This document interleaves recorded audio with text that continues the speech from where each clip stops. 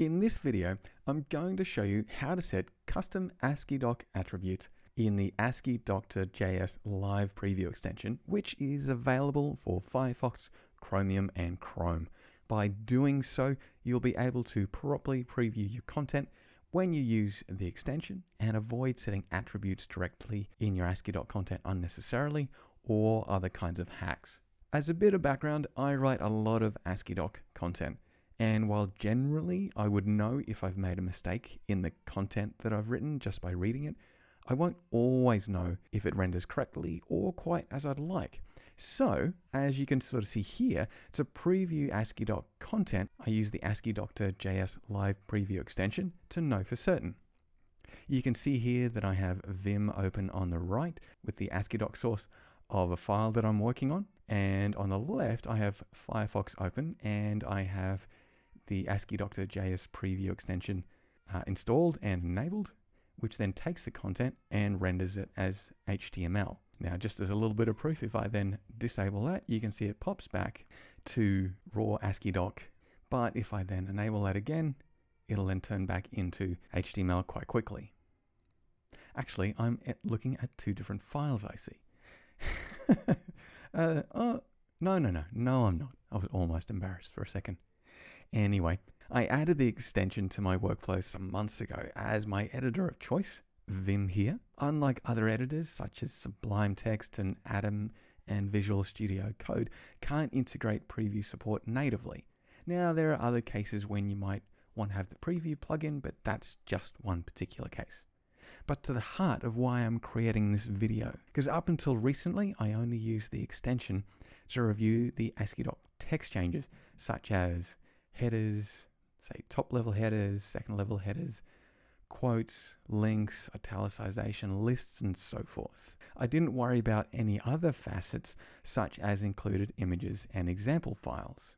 However, as I've come to rely on the live preview extension loads more, to the point that I use it actually almost daily, I'm now having to review all the content. You know, so images, included examples, various other assets, not just the text. And I found that by default, there were little things that the extension wouldn't render, such as images and examples. And it makes sense as we'll see in just a second. So let's work through an example. If I scroll down and we come down here, you can see here that we have some alt text for an image that should be rendered but the image isn't there.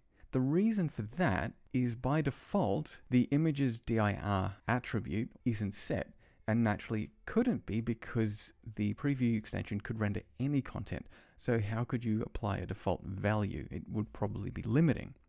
So what I'm going to do is now set that attribute so that the images for this content here can be found by the preview plugin. If I come down here uh, right click on the preview icon and then click manage extension. And you can see here we come to the configuration and overview panel for the extension. By default, we're on the details pane, but I'm going to change to the preferences pane. And here, the first option that you can set is custom attributes. In here, you can enter a series of space separated key value attribute pairs for any attribute that you would want to set or unset. When set, the attributes are then available to any AsciiDoc content which the extension renders from that point on. And before I go too much further, if you're not too familiar with AsciiDoc attributes, make sure that you check out the AsciiDoc user manual, which covers attributes in great detail.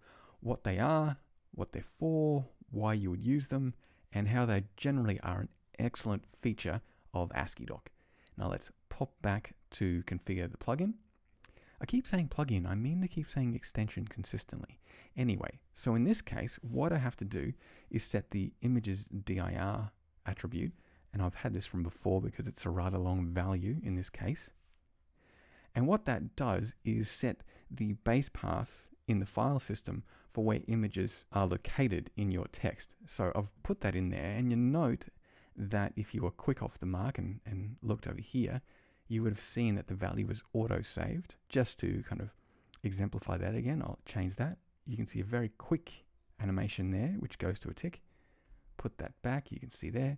So I don't have to click or scroll right down to the bottom to click any OK, apply, or save buttons. It's just done for us, a very handy feature. Now, with that set, it'll be able to find, or it'll have available the base path for the images in my content.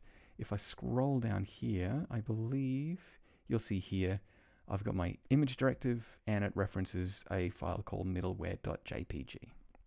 And that's located in the base of this directory here. I note I also had experimental set to true. I don't need that. Must have been from an earlier thing I was working on.